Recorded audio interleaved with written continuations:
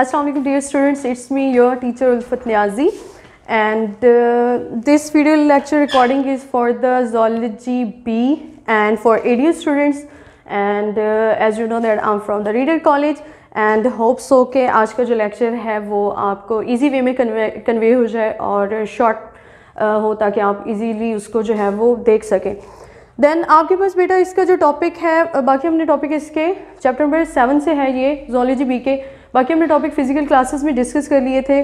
जो टॉपिक हमारे पास यहाँ पे अंडर uh, डिस्कशन है आज के दिन के लिए that is the other patterns of organization and आपको ये टॉपिक जो है वो मिलर एंड हार्डले की जोलॉजी बी की बुक से जो है वो मिल जाएगा। अदर पैटर्न्स ऑफ़ ऑर्गेनाइजेशन से क्या मुराद हम लेते हैं? वहाँ पे कौन कौन से पैटर्न्स ऑफ़ ऑर्गेनाइजेशन आपने जो है वो देखने हैं? These are the unicellular organization methods then इसके अलावा आप डिप्लोब्लास्टिक ऑर्गेनाइजेशन भी देखते हैं एंड इसके अलावा आप एक और चीज़ भी देख रहे होते हैं स्टडी करते हैं पैटर्न्स में ट्रिप्रोब्लास्टिक ऑर्गेनाइजेशन ठीक है? एंड फर्दर ट्रिप्रोब्लास्टिक ऑर्गेनाइजेशन की कुछ और टाइप्स भी हैं जो कि हम डिस्कस uh, करेंगे uh, इसी लेक्चर के साथ ही एंड पे। ठीक हो गया? तो ये हैं आपके पास पैटर्न्स ऑफ़ ऑर्गेनाइजेशन जिनको हमने वन बाय वन जो है वो डिस्कस करना है। Let start with the unicellular organization आपको नेम से ही कुछ इस टॉपिक के स्टार्ट जो हेडिंग है हेडलाइन है वहाँ से ही आपको अंदाज़ा हो जाता है कि यूनिसेलुलर ऑर्गेनाइजेशन में क्या है कि इसमें आपने ऑर्गेनिजम्स जो स्टडी करेंगे उन ऑर्गेनिजम्स की करेक्टरिस्टिक ये होगी करेक्टरिस्टिक फीचर उनका ये होगा कि that will exhibit the unicellular level of organization single cell पर वो कंसिस्ट करते होंगे। उनकी जो पूरी लाइफ है वो सिंगल सेल पर क्या करेगी? आ, उस पर डिपेंड करेगी। सिंगल सेल के लिए ही हम टर्न यूनी सेलुलर यूज़ करें uni mean single and cellular mean cell या तो वो ऑर्गेनिज्म प्योरली सिर्फ़ और सिर्फ़ एक सेल पर कंसिस्ट uh, करता होगा उसकी होल लाइफ उसकी होल बॉडी या फिर ऐसा होगा कि ये ऑर्गेनिजम्स क्या करते हैं कि बहुत सारे ये जो इंडिविजुअल uh, सेल्स होते हैं ये मिलकर एक कॉलोनी बना देते हैं. अब ये जो एक इंडिविजुअल सेल है वो एक इंडिविजुअल ऑर्गेनिज्म भी है एट द सेम टाइम ये चीज़ आपने माइंड में रखनी है. ठीक है? तो ये या तो यूनिसेलुलर ऑर्गेनिज्म के तौर पर एज अ होल ऑर्गेनिज्म के तौर पर रहेंगे, या फिर यही ऑर्गेनिज्म क्या करेंगे, इकट्ठे होकर एक कॉलोनी की फॉर्म में रहते हैं। तो ये आपके पास जो है वो एग्रीगेट्स हम कह सकते हैं कि सेलुलर एग्रीगेट्स की फॉर्म में भी पाए जा सकते हैं, या सिंपल यूनिसेलुलर ऑर्गेनिज्म के फॉर्म में भी पाए जाते हैं। और हम ये कह सकते हैं कि ऑल लाइफ इनकी क्या है within the plasma membrane जो है वो सराउंड करती है। इस रीज़न की वजह से हम कहते हैं, इस ऑर्गेनाइजेशन लेवल के लिए एक और टर्म भी हम यूज़ करते हैं, या यूनिसेलुलर ऑर्गेनाइजेशन के अलावा that is the cytoplasmic organization ठीक है? तो हम, चूँकि इनकी होल लाइफ क्या है प्लाज्मा मेम्ब्रेन के अंदर जो साइटोप्लाज्म है, उसमें जो भी ऑर्गेनल्स प्रेजेंट होंगे, उसमें जो भी इनका जेनेटिक मेकअप है, उसी पर इनकी क्या है फुल लाइफ डिपेंड कर रही है। इसके अलावा किसी और चीज़ से इनका कोई कंसर्न नहीं है। तो दैट्स वाई हम इसको साइटोप्लाज्मिक लेवल ऑफ़ ऑर्गेनाइजेशन भी हम या साइटोप्लाज्मिक पैटर्न ऑफ़ ऑर्गेनाइजेशन भी हम इसको कह सकते हैं। Hope so that's clear to you and एक जो uh, बात माइंड में मे बी आ सकती है कि ये सिर्फ़ एक सेल पर कंसिस्ट करते हैं या ज़्यादा से ज़्यादा ये कॉलोनीज़ बनाकर रह लेंगे। तो मे बी माइंड में ये बात आए कि शायद ये बहुत ही सिंपल किस्म के ऑर्गेनिजम्स होंगे या इनके सेल में ज़्यादा कॉम्प्लेक्सिटी जो है वो हमें देखने को ना मिले। तो ये अगर थॉट आपके माइंड में कहीं पर अराइज होती है तो दैट्स नॉट ट्रू आप इसके बारे में ऐसा नहीं बोल सकते हैं। वजह क्या है कि अगर आप इन ऑर्गेनिजम्स को देखेंगे तो these are not much simple ना तो इनके सेल इतने ज़्यादा सिंपल हैं, चाहे यूनिसेलुलर हैं but not that much simple eukaryotic cells होंगे। और आपके पास जो है, इसका आंसर क्या है? हम क्यों ऐसा बोल रहे हैं कि these are not much simple तो answer to this question is कि ये कॉलोनीज़ की फॉर्म में भी जब आप इनको देखते हैं, रह रहे हों, या यूनिसेलुलर ऑर्गेनिज्म की फॉर्म में भी देखेंगे, जैसा कि किंगडम प्रोटेस्टा इसके अंदर हम डिस्कस करते हैं, वो इसकी एग्ज़ाम्पल में आ जाता है यूनिसेलुलर ऑर्गेनाइजेशन की। तो उसमें आप देखें तो डिफरेंट टाइप के आपको उसमें ऑर्गेनिजम्स मिलते हैं। यूग्लिना आप देख लें पैमिशियम देख लें। तो इनमें अगर आप इनकी लोकोमोशन देखेंगे, इनकी फीडिंग मेथड देखेंगे, इनका रिप्रोडक्शन मेथड देखेंगे, कोई भी इनका सिस्टम अगर आप चेक करेंगे तो वो कोई बहुत ज़्यादा सिंपल मेथड नहीं है। हर ऑर्गेनिज्म इसमें इवन के प्रोटोजोआ जो कि ग्रुप है प्रोटिस्टा का, उसके अंदर आप देखें तो बहुत ज़्यादा डाइवर्सिटी है।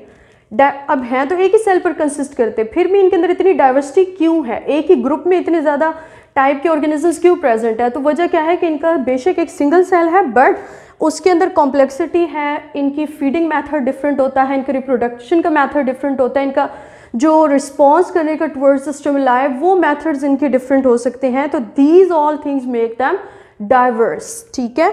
तो आपके पास हम ये कहेंगे कि ये यूनिसेलुलर तो होंगे।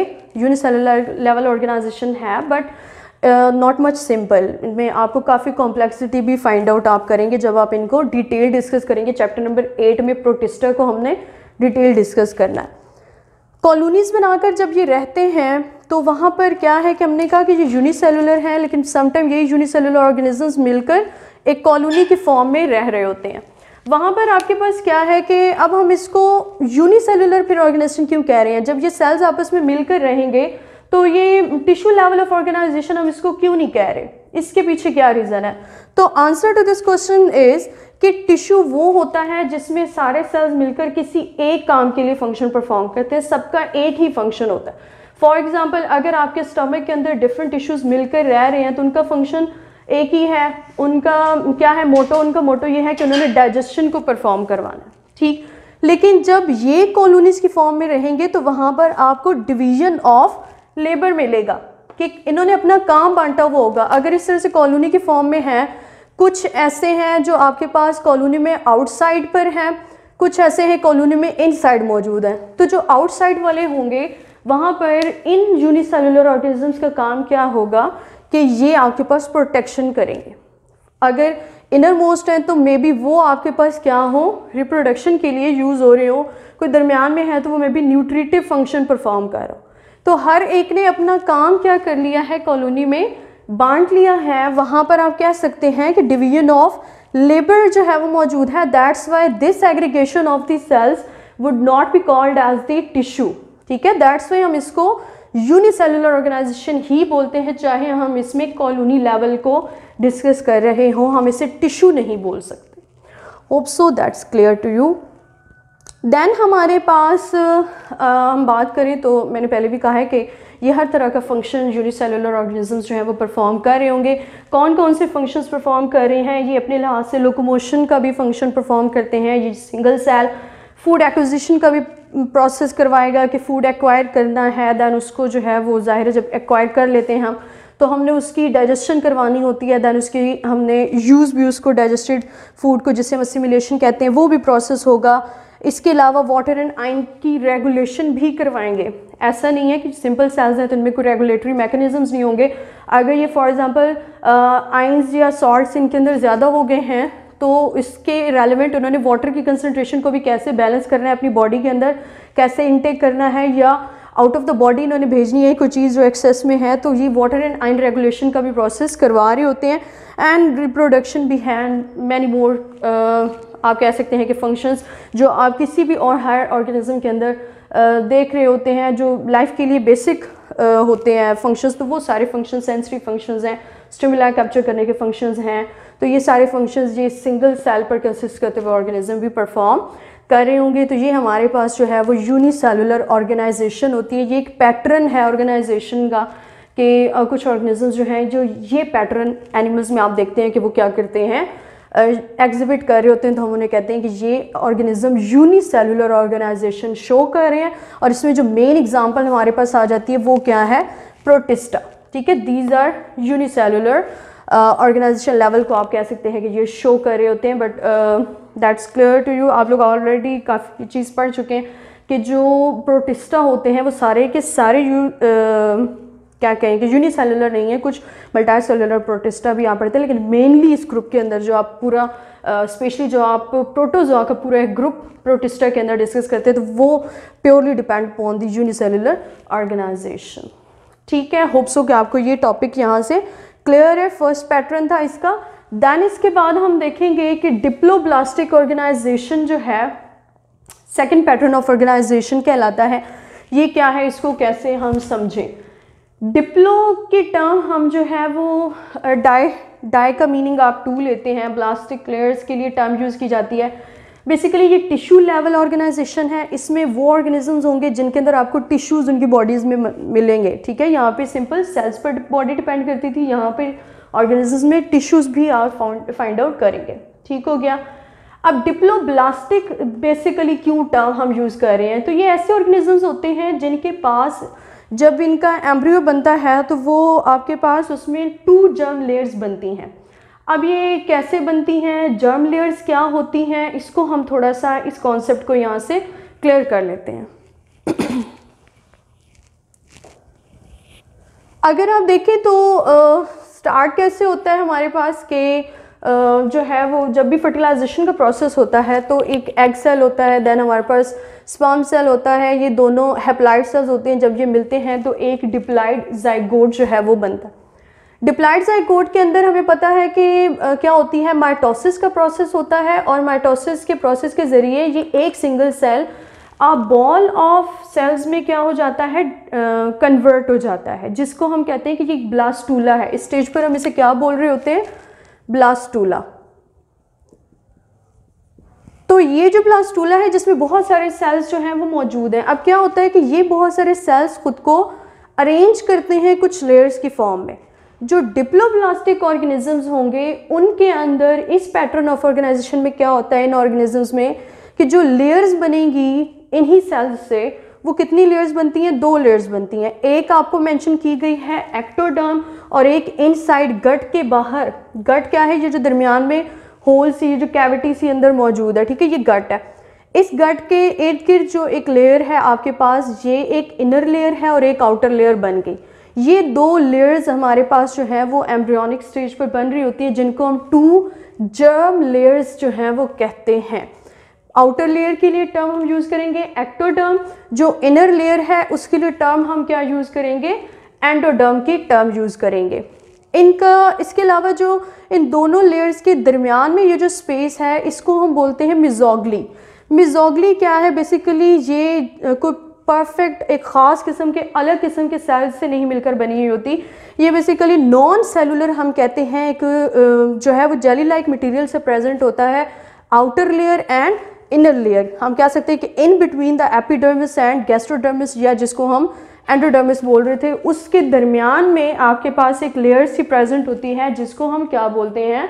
मिजोगली बोलते हैं। ये कोई प्रॉपर ट्रू लेयर नहीं होती। तो इसलिए हम जो मेजर लेयर्स यहाँ पर फाइंड आउट करेंगे, वो कौन सी होंगी? Outer layer ectoderm and inner layer mesoderm sorry endoderm ठीक है?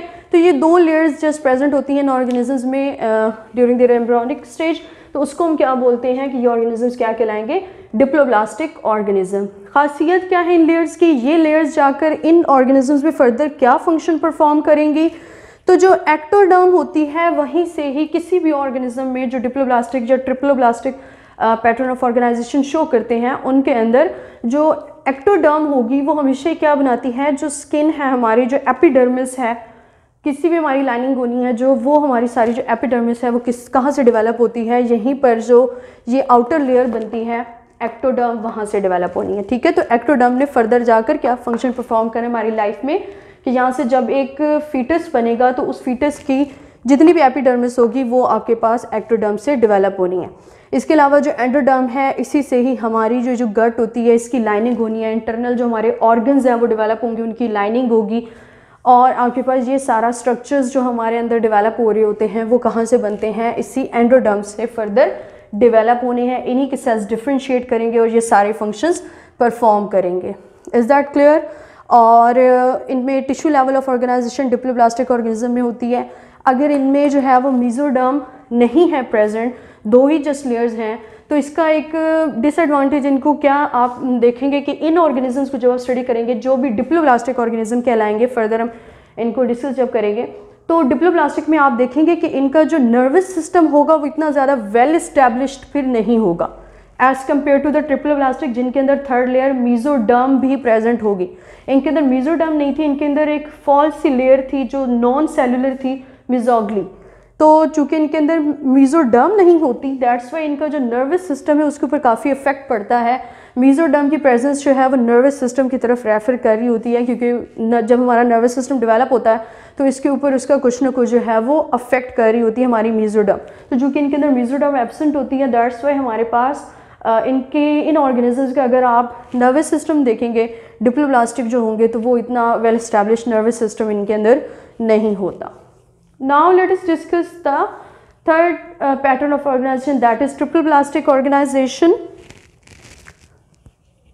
triploblastic में अब डिप्लो में दो जर्म लेयर्स थी तो ट्रिप्लोब्लास्टिक में क्या होंगी? एट दैट टाइम आपको थ्री जर्म लेयर्स मिलेंगी, ठीक है? एक्टोडर्म एंडोडर्म एंड मीजोडर्म ये लेयर जो एक्टोडर्म एंड एंडोडर्म के दरमियान में थी, आपके पास एक्टोडर्म और एंडोडर्म के जो दरमियान में थी लेयर जो कि मिसिंग थी डिप्लोब्लास्टिक केस में, वो आपको ट्रिपल ब्लास्टिक केस में मिलेगी।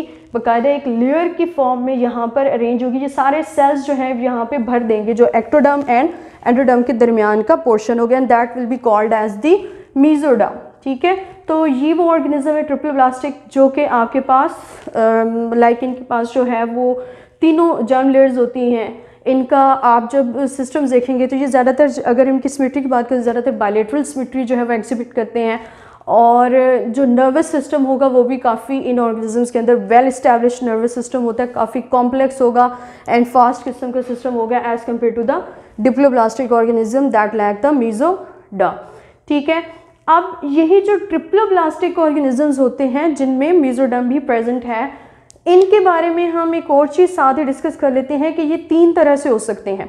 They can be the coelomates acoelomates and इसके अलावा pseudocoelomates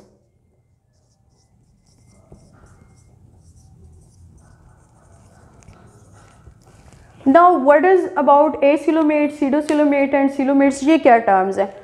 अगर ऐसा हो कि जो मीजोडर्म है, इस तरह से जो प्रेजेंट थी एक्टोडर्म एंड एंडोडर्म के दरमियान, अगर एक्टोडर्म और एंडोडर्म के दरमियान मीजोडर्म ही कॉन्टिन्यूसली प्रेजेंट हो, दरमियान में कोई स्पेस आपको नज़र ना आए तो देन आप कहेंगे कि ये ऑर्गेनिज्म ट्रिप्लोब्लास्टिक तो हैं, लेकिन इनमें कोई बॉडी कैविटी मौजूद नहीं है। ठीक है, इनमें क्या है कोई बॉडी कैविटी को दरमियान में खिला, सिलोम क्या है बेसिकली खिला को बोलते हैं, ठीक है? तो कोई भी स्पेस खिला, इनके दरमियान अगर नहीं है, तीन लेयर्स तो हैं बट कोई लेयर्स के दरमियान खिला नहीं है तो आप कहेंगे कि ये क्या है? ए सिलोमेट्स हैं। A mean no there is no coelom in these organisms तो वो कहलाएँगे ए सिलोमेट्स अगर ऐसा हो कि कैविटी है, खिला है बट किस तरह से वो मौजूद है? कि उसमें इस तरह से खिला डेवलप होता है कि वो आपके पास कैविटी ऐसी जगह पर बने कि एक साइड से तो उसे मीज़ोडम ने घेरा हुआ हो, लेकिन दूसरी साइड से ये जो बनी है खिला दूसरी साइड से इससे किसने कवर किया हुआ है? ब्लू लाइन जो कि हमारे पास किसको शो कर रही थी? एंडोडर्म को। तो एक साइड से तो उसे मीजोडम ने कवर किया हो, लेकिन दूसरी साइड से मीजोडम उसके प्रेजेंट ना हो, बल्कि क्या प्रेजेंट है? एंडोडर्म की लाइन प्रेजेंट है तो फिर ऐसी कैविटी को हम कहते हैं, ये जो कैविटी डेवलप हुई है, जिसमें दोनों साइड पर मीजोडम नहीं है तो ये एक फॉल्स कैविटी होती है तो इसको हम जो है वो सीडोसिलोमेट सीडोसिलोम बोलेंगे कैविटी को, और जो ऑर्गेनिज्म होगा that has the pseudocoelom that will be called as the pseudocoelomates ठीक हो गया? अब अगर आपके पास कैविटी इस तरह से डेवलप हो कि आपके पास मीज़ोडम जो है, वो स्प्लिट करे दरमियान से और ऐसे स्प्लिट करे कि जो कैविटी बने, उसमें दोनों साइड्स पर ही क्या है मीजोडम हो, दरमियान में कैविटी डेवलप हो। एक साइड पर भी मीजोडम के सेल्स प्रेजेंट हो, दूसरी साइड पर भी उसके मीजोडम के सेल्स प्रेजेंट हो।